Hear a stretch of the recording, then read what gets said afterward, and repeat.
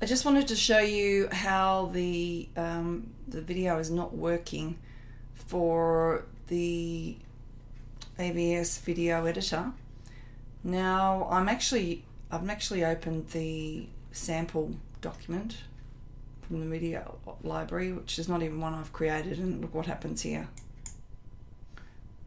Music should start in a second.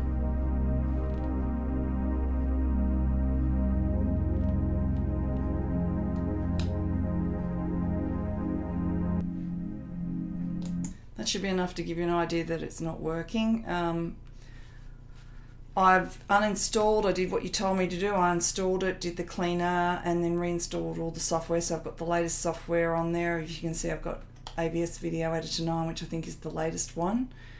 I don't know if there's some file missing or what the heck is going on, but it is just not playing. So it's very frustrating because I really, really need to use this editor. I'm hoping you can help me maybe with some file. I remember I had some issue with the audio editor at one point, unless it was some file missing that I needed. Hoping this is the case with this one as well. Look forward to your help.